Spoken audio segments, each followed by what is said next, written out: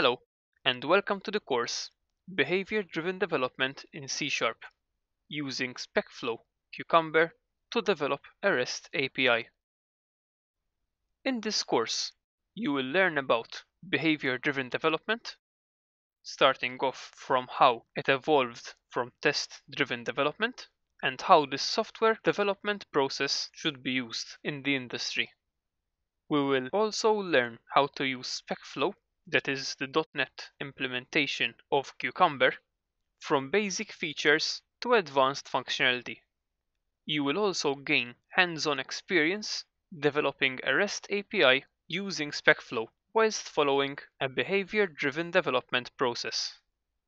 This course is ideal for software developers and testers who want to learn how to develop software through behavior-driven development using SpecFlow.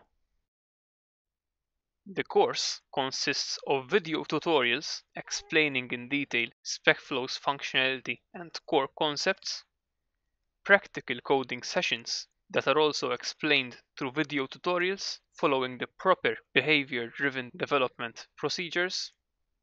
The code being used in each lecture is available for download and I'm available to answer any questions that you may have. I hope to see you in the course and I look forward to any feedback you may have. Thanks.